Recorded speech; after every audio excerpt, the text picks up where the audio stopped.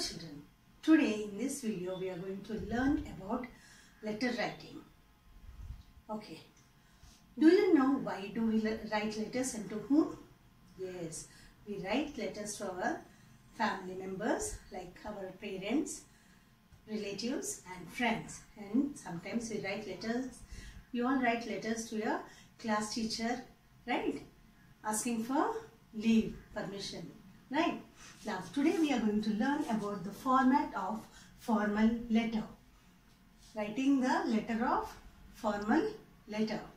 Now, to whom do we write formal letters? What is the meaning of formal letter? A letter when it is written to higher authorities or organization. Now, for example, you want to attend a marriage uh, in your now when you want to attend any function or any marriage in your family you take prior permission from your class teacher and principal. So first let us see how is the format how there is a pattern to write a letter. Now first here you will write sender's address. Sender's address. Who is the sender here? Person who is writing the letter is a sender.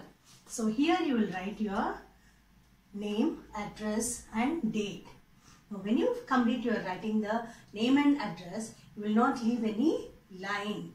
Without leaving line, leaving a line, you will write the date. Now, can you see a cross mark here children? Yes, wherever there is a cross mark, that means you have to leave a line, blank line. Here, receiver's name and address. Who is the receiver to whom you are writing the letter? If you are writing to the class teacher or to the principal or to any organization.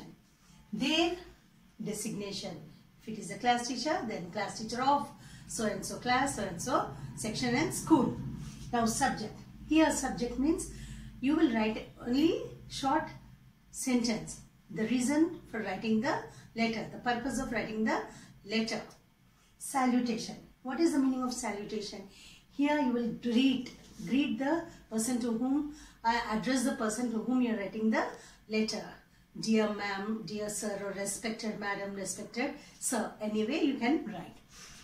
And then here you have to leave the line and then content or the body of the letter. Content and body of the letter means here you will write in elaborate way stating the reason how many days you want the leave and so on. And when you are writing to class teacher and principal uh, about your absence, you will complete write that that you will be completing all the pending work and submit. Right children? Yes you will not keep any incomplete work. Next when you complete the body or the content of the letter then you will end with thanking you. You have to say thank thank them right children? When you are asking for permission and when they are giving you the permission you have to say thank you to them after thanking you you will leave a line and here yours sincerely. Here comes a complimentary clause. Complimentary clause means here you will write yours sincerely, yours faithfully, yours obediently. Like that you will address. And sender's name. Your name and class and section. Here in the beginning you will write your house address or the locality name. Hmm? If you are writing your name and uh, Nagole and Hyderabad like that. Here sender's name means your name again and your class and section. This is the format of formal letter children. In next video you will be learning about informal letter. Thank you.